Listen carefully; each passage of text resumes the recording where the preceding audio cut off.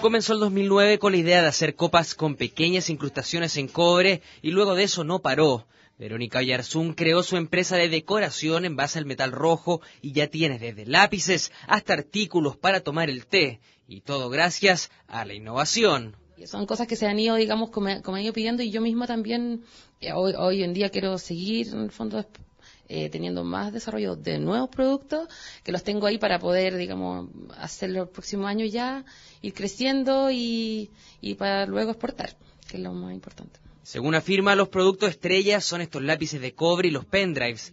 Casi no le quedan en stock. Y lo más feliz sin duda es su familia. Desde el más pequeño de la casa hasta su marido colaboran en la empresa.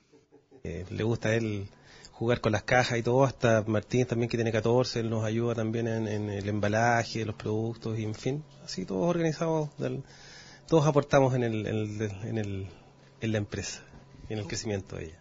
El ministro de Minería visitó la casa de Verónica y pudo comprobar los novedosos productos en base al cobre. Claramente, gente como Verónica y gente como los otros emprendedores que hemos visto en otros productos como peinetas, eh, jaulas de salmones, etcétera, realmente son importantes por distintos usos del cobre, por sus características bacteriológicas o también por la identidad nacional. Creemos que los innovadores nos pueden ayudar a posicionar nuestro país en el mundo a través de sus productos. Un buen regalo para la Navidad, explicó el ministro de Solminiac, sobre todo cuando se trata de un producto chileno y en base a nuestro principal producto de exportación. Sebastián Fuentes, CNN Chile.